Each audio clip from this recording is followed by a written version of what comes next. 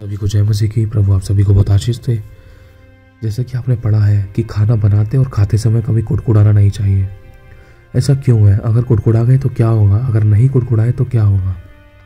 सबसे पहली बात यह है कि अगर कोई भी व्यक्ति कुड़कुड़ाता है तो कुड़कुड़ाना ये परमेश्वर को नहीं भाता है कुड़कुड़ाना एक दुष्ट आत्मा का काम है। कुड़कुड़ाने के कारण है ना, बहुतों ने बहुत कुछ खो दिया। अगर हम पढ़ें पुराने नियम में तो कुड़कुड़ाने के कारण इसराइलियों का चालीस दिन का सफ़र चालीस साल का हो गया। उनको सब कुछ तो मिला, लेकिन कुड़कुड़ाने के कारण उनके प्राण नाश हो गए और एक के अंदर से कुड़कुड़ाहट दूसरों में गई, दूसरे से तीसरे में गई। इसी प्रकार से कुड़कुड़ाहट वाली दुष्ट आत्मा होती है, जो ट्रांसफ़र होती है। मान लो, अब कोई बहन है, अब उस बहन के हस्बैंड ने इसको बहुत मारा है या ये बहुत गाली गलोच किया या उस बहन को किसी घर के परिवार के किसी सदस्य ने सताया है। या गाली गलोच किया है, बुरा भला कहा है।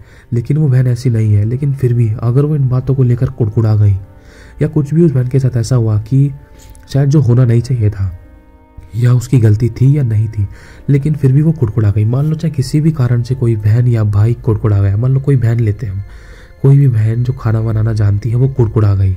किसी भी तरीके से झुंझला गई, किसी के प्रति उसके मन में कड़वाहट या क्रोध या गुस्सा आ गया, या गाली गलोज आ गया, या कड़वाहट आ गई, भर गई कि इसको माफ़ी नहीं करूँगा। ऐसा है ये वैसा है। अरे जायज़ इसको तो निकालो अपनी ज़िंदगी से।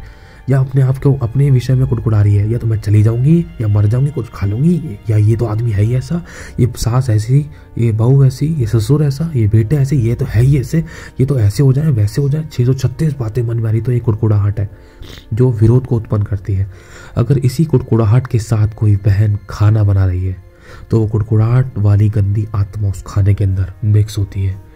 समझना अगर आप शांति के साथ खाना बनाओगे, प्रेम के साथ, नम्रता के साथ, दीनता के साथ, आनंद के साथ, खुशी के साथ, आराधना सुनते, आराधना करते हुए खाना बनाओगे तो प्रभु का अभिषेक उसके अंदर ट्रांसफ़र होगा।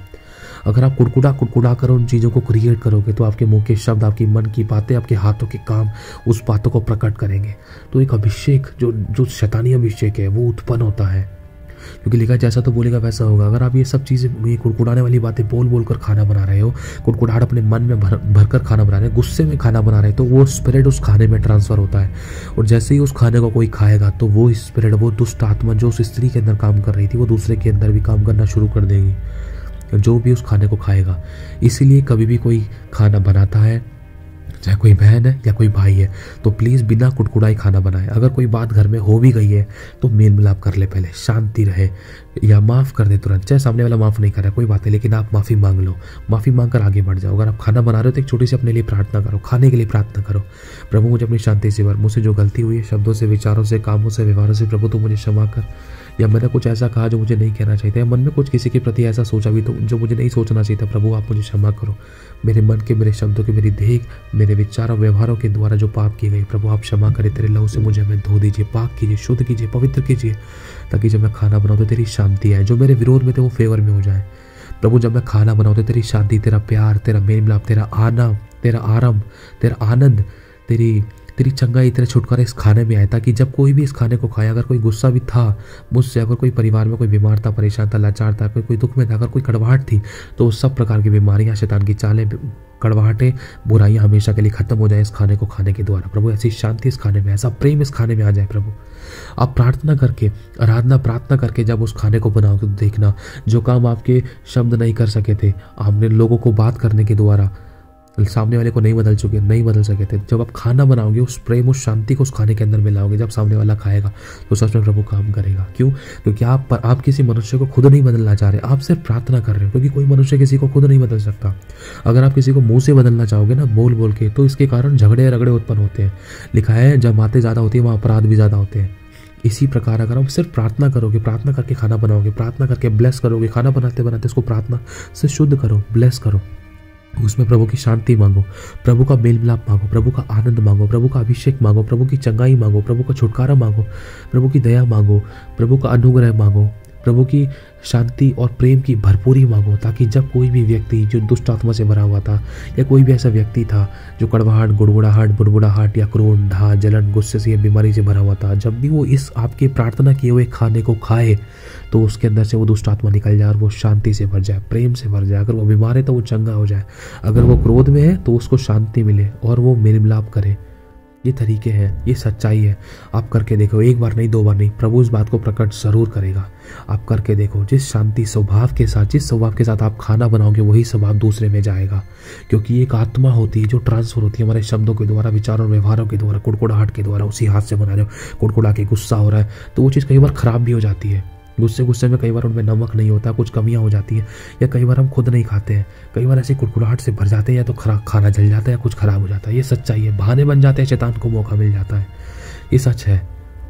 किसी को शायद इस बात पे भरोसा हो या ना हो, लेकिन मैं इन बातों को जानता हूँ। ये हकीकत है। जब आप शांति के साथ किसी चीज़ को बनाओगे किसी को ला कर दोगे, किसी को खिलाओगे, या किसी को परोस के दोगे, प्रेम, शांति, आराम के साथ प्रार्थना करके प्रभु की भरपूरी, प्रभु की आशीष, नम्रता, दीनता, प्यार, प्रेम मेल मिलाप आनंद को मांग कर उस खाने पीने की चीज़ों में जब आप किसी को दोगे तो सच में वो बातें प्रकट होंगी और लोग प्रेम से, आनंद से, शांति से, भरपूरी से, आशीषों से, बरकतों से भरेंगे और चंगाई से भरेंगे। चाहे आपको लग रहा है स्टार्टिंग में तो हुआ ही नहीं, लेकिन आप डरना, डगमगाना मत। देखना प्रभु प्रकट करेगा। आप खुद अनुभव करोगे इस बात का। मैं कह रहा हूँ, अनुभव लो। प्रभु की महिमा प्रकट होगी। लेकिन जो कोई कुड़कुड़ाहट से ऐसे वैसे खाना बनाता है तो कुड़कुड़ाहट है ना, इंसान की हड्डियों में समा जाती है, तेल बनकर। मेरे भाई और बहनों, प्रभु नहीं चाहते, ये दर्द पीड़ा को उत्पन्न करती है, बीमारियों को उत्पन्न करती है कुड़कुड़ाहट एक दुष्ट आत्मा है। जैसे यीशु ने कहा था, अपने चेलों को तुम्हें शांति मिले। तो चेलों के अंदर शांति आ गई थी और उसी समय वो शांत हो गए, वो चुप हो गए, वो खुश हुए। लेकिन इसी प्रकार से मेरे भाई और बहनों, ये कुड़कुड़ाहट वाले, ये बुड़बुड़ाहट के दो शरों पढ़ के, क्रोध के शब्द जब बोलते ना तो उससे क्रोध, झट क्रोध करने से गुस्सा बड़ा उठता है। अगर हम नीति वचन पढ़े तो बहुत सी बातें क्रोध के बारे में है। है ना? हमारे शब्दों के बारे में है। जीव के वश में जीवन और मृत्यु दोनों है। जो इसे काम में लाना जानता है, वो इसका फल भोगेगा। अगर आप अपनी ज़ुबान को शांति, प्यार, प्रेम मेल मिलाप को लेकर जब आप खाना बनाओगे और उस खाने के ऊपर आप हाथ रख के दुआ करोगे या खाने पर हाथ भी ना रखो, आप सिर्फ़ शब्द रो शब्द बोलो, प्रभु, जो ये खाना बना रही, जो ये आटा मार रही, जो सब्ज़ी बन रही है, प्रभु, उसमें तेरा प्यार आए मेल मिलाप आए, शांति है आराम आए, आनंद आए।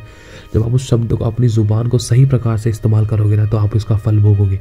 ये पलट कर आपको अच्छा मिलेगा। आपको और आनंद मिलेगा, आपको खुद शांति मिलेगी, प्रेम मिलेगा। जो विरोध में थे, वो फेवर में आएँगे, वो खुद बढ़ाई करेंगे, प्रभु की महिमा करेंगे। लेकिन आप गुस्से कुड़कुड़ाहट के साथ बनाओगे ना तो लिखा, जीव के वश में जीवन और मृत्यु दोनों आप सोचो, आप जीवन की बातों को उस खाने के अंदर मिला रहे हो या क्रोध, मृत्यु की बातों को मिला रहे हो? मृत्यु की बातों को मिला रहे हैं, कड़वाहट कोड़ो क्रोध की ढाई की, कड़वाहट की, जलन की, नामावी की, या विरोध की, चुगली निंदा की बातों को करके आप बोल कर या खाना पका रहे हो तो वो चीज़ वापस पलट कर मिल सकती है। आपको आपकी ज़िंदगी में। लेकिन अगर आप अच्छा करके बना रहे हो तो वो चीज़ आपको पलट कर मिलेगी। आपकी, आपको आपकी ज़िंदगी में ये सच है। जब आप शांति, क्योंकि लिखा है, जैसे तो बोएगा, वैसे तो काटेगा। अगर आप अच्छा बोगे तो अच्छा बढ़, बढ़कर मिलेगा। अगर आप बुरा बोगे तो ये तो एक इंसान बुरा बोता है तो उसको बुरा बढ़कर मिलता है। तो इसी प्रकार से अच्छा भी है। इसलिए जितना हो सके उतना हमें अच्छा बोना और प्रार्थना करके खाना बनाओ। प्रार्थना करके सब्ज़ियाँ काटो। प्रार्थना करके खाने में नमक, मिर्च मिलाओ। प्रार्थना करके और जब खाना तैयार हो जाए, उसके ऊपर प्रार्थना करो। हाथ बढ़ाओ अपने। दूर से हाथ बढ़ाओ। ये नहीं कि हाथ अपने जला लो। ध्यान से हाथ बढ़ाओ और दुआ करो, प्रभु, तेरी शांति आ जाए। इसमें कुछ कमी पेशी भी थी ना तो प्रभु, कमी दूर हो जाए। जब कोई खाए तो खाना खाने में टेस्ट आए, कोई कमी पेशी ना हो, प्रभु, तेरा प्रेम आ जाए। मैं कह रहा हूँ, अगर कोई कमी पेशी भी थी ना तो सच में, पर आपके द्वारा की गई प्रार्थना सामने वाले को नम्र और दीन कर देगी। हो सकता है बिना नमक का खाना भी वो खा जाए और आपको कुछ ना बोले, ऐसा मेरे साथ बहुत बार हुआ है। ये प्रभु का अनुग्रह है। बहुत बार हुआ है मेरे साथ, लेकिन जब ये चीज़ें मेरी ज़िंदगी में नहीं थी ना तो मैं बहुत भड़कता था, बहुत गुस्सा करता था। अपना अनुभव बताया मैंने आपको, लेकिन जब आज कई बार खाने में नमक भी नहीं होता ना तो प्रभु उतने प्रेम से मुझे खाना खिलाता है, प्रभु याद दिलाता है। देख, तेरे साथ मैं भी खा रहा हूँ तो चुप रहे। चाहे बात कुछ भी हो, चाहे बहाने कुछ भी हो, लेकिन मैं लड़ नहीं पाता अपनी पत्नी से। प्रभु ने मुझे नम्र रहना सिखाया है। हर बात में धन्यवादी रहना है। प्रभु नम्र और दीन और सहनशील रहना सिखाया है। है ना? ये एक बार में नहीं हो जाता। बीज बोते रहना है। फल प्रभु अपने समय पर प्रकट करेगा। हालेलुया। और चीज़ बहुत महत्वपूर्ण है आप लोगों को बतानी है। जैसे कभी आप खाना परोस रहे हो या बना रहे हो, बनाते समय, परोसते समय, खिलाते पिलाते समय अगर आप दे रहे हो बाई चांस पहले प्रार्थना करना भूल गए तो आप बाद में भी कर सकते हो कि प्रभु यीशु, तेरे लहू की सामर्थ्य इस खाने पीने में आ जाए। इससे हमें से किसी को भी कोई नुकसान ना हो। सारा किया धरा बेअसर हो जाए। और प्रभु तेरी शांति, तेरा प्यार, तेरी चंगाई इस खाने में आ जाए। यीशु तेरे नाम से इस प्रार्थना को मांगते हैं। अमेन बस इतना कह दो, ये भी बहुत है। ये नहीं कि किसी अन्य जाति के सामने, दूसरों के सामने हम ज़ोर ज़ोर से प्रार्थना ही कर रहे हैं या ज़्यादा दिखा रहे हैं, शो ऑफ़ कर रहे हैं।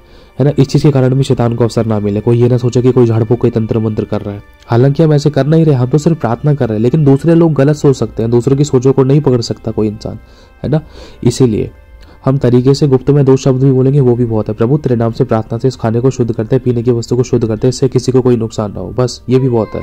ठीक है, इस तरीके से हम कर सकते हैं। ये तरीका है। अगर कोई आपको दे रहा है तो उसको प्रार्थना करके ही खाओ।